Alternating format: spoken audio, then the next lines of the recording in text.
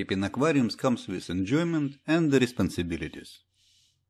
Feeding your aquatic pets is probably one of the most enjoyable parts of this hobby. And uh, feeding is also one of the most important responsibilities. How do you feed your aquatic pets while on vacations? It would be nice if you could take your aquarium with you anywhere you go. I actually can take this aquarium with fish anywhere I want, for a walk, on a vacation trip. Yes, Small aquariums can be moved and carried around easily like that.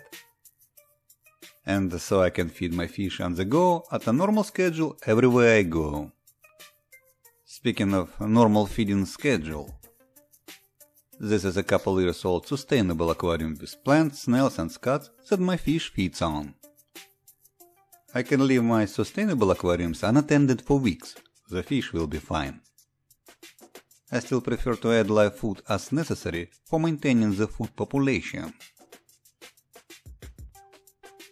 Of course, moving around aquariums larger than a couple gallons is uh, impractical and dangerous.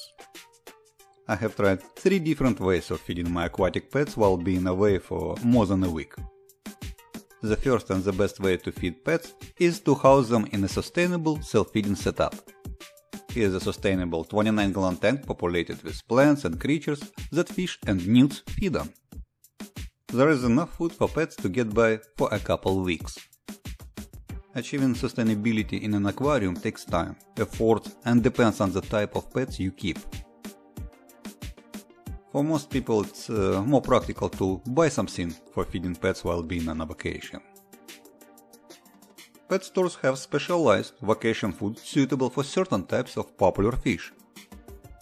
Vacation food pellets dissolve slowly in water allowing fish to consume the food over extended time. Give your fish a pellet to see if your fish eats it before going on vacation. This type of fish food comes in pellets sized for feeding fish for different periods of time. And in the same section you may find automatic fish feeders that dispense food as you schedule it.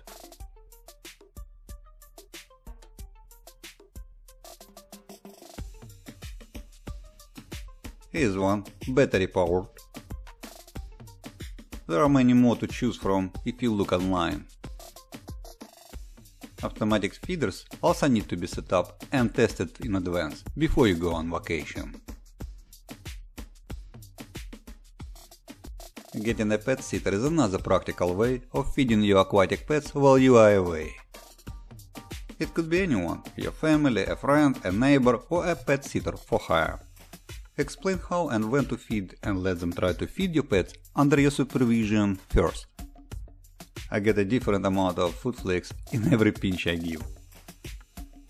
It should take a couple minutes for fish to eat given food clean.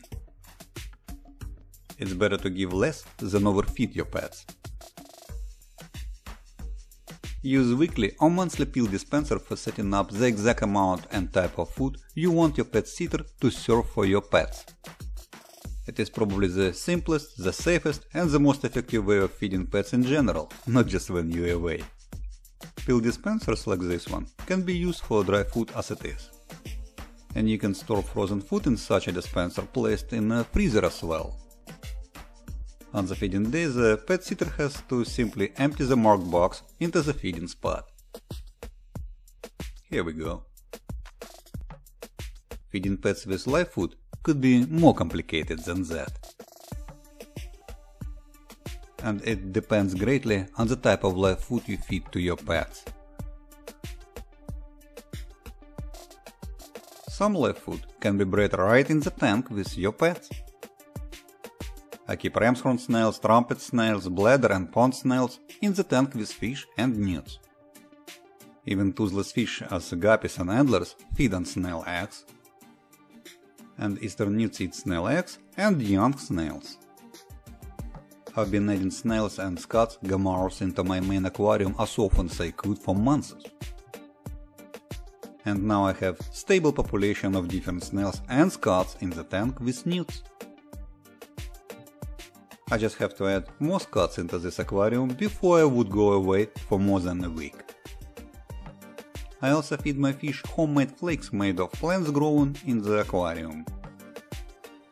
So all my pets are accustomed to feeding on what naturally grows in this sustainable tank. Here you can see my Newta girl on a hunting pass. I've also been culturing isopods, springtails, grindal worms and such on the land part of this tank. All these creatures are part of my pet's diet. Making proper preparation for feeding pets while you are away takes time. Every pet has personal food preferences, just like every person. And it is important for you to learn what your pets like and how much they would consume.